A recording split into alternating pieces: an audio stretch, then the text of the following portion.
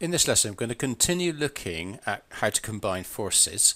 In this case, we're going to look at a slightly more complicated situation than the previous lesson, where there is a resultant force in both the vertical and in the horizontal directions, which will result in an overall resultant force that acts at an angle to the vertical or horizontal. So, for example, consider this airship where we have a thrust of 700 newtons acting to the right, right, that's in the positive direction, and an air resistance of 300 newtons acting to the left, while the weight of the airship acts in 6,000 newtons downwards, and an upthrust of 6,300 newtons acting in the upward direction.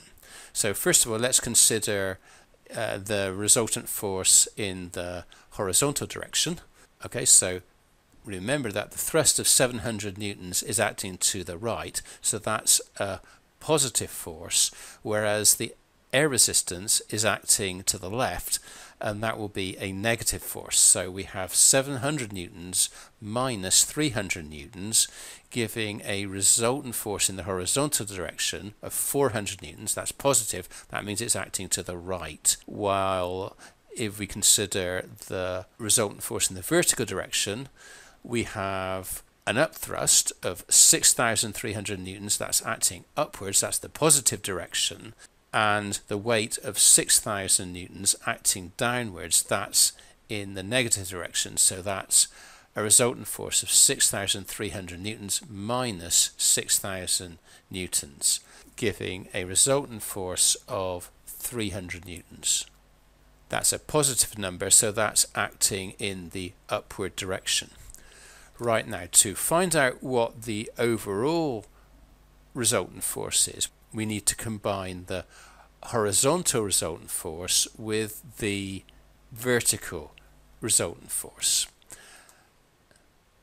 Now, to do that, we need to consider again the forces that are acting on this air balloon and we're going to represent that air balloon by a single point center of mass and with the resultant force of 300 newtons acting upwards in the vertical direction and a resultant force of 400 newtons acting to the right in the horizontal direction. And what we need to do is to represent those forces on a grid diagrams. So in your AQA GCSE exams, you would not be expected to use trigonometry in this type of question, as it cannot be assumed that all of the students have that sort of maths, although most of you would probably be able to do this with trig, no problem.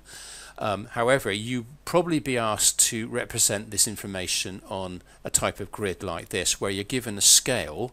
Um, in this particular case, each grid square uh, represents 100 newtons. So you've got to kind of convey this information here onto the grid square. So let's do that. So we have a resultant force of 400 newtons in the horizontal direction. That's acting to the right here. And then followed by 300 newtons in the vertical direction upwards. Right? That's four grid squares in the horizontal direction and then three grid squares in the vertical direction. So the resultant force acting on the airship is the combination of these two vectors. The horizontal vector of 400 newtons to the right, followed by the vertical vector of 300 newtons upwards. And the overall resultant force acting on the airship is the combination of these two vectors. Let's represent that in green. Okay, so that is the resulting vector. Now, in this now, in this type of problem, you know, you might be asked to calculate the magnitude of the overall resultant force acting on the airship. Now, you would probably not be expected to use trigonometry in your GCSE physics exam. What you would be expected to do in this type of problem, where you've got a grid is and a scale, is to physically measure the length of this vector with a ruler. You would do that, and you would see that it corresponds to exactly 5 centimeters. This is 4 centimeters, this is 3 centimeters, this is 5 centimeters. That's the 3, 4, 5 triangle. And then you would equate that using the scale to 500 newtons. Okay, so we just write that there. Is the overall resultant vector. And now, if they were to ask you the angle, then you would use your protractor yeah, to measure the angle of the resulting vector, okay, using a protractor.